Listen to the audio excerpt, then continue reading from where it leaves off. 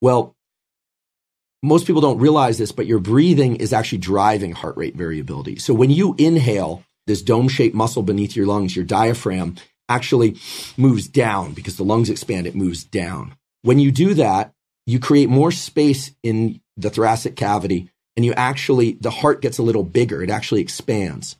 As a consequence, blood flows more slowly through that larger volume and the brain quickly sends a signal down to the heart to speed the heart up.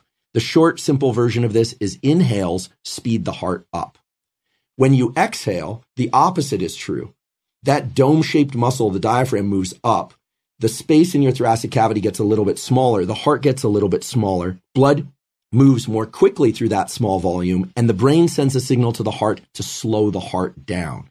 Physicians know this as respiratory sinus arrhythmia, but this is the basis of what we call HRV, heart rate variability. And the simple way to remember this is anytime you emphasize exhales, in other words, making them longer than your inhales, you are slowing the heart rate down. You're calming your system.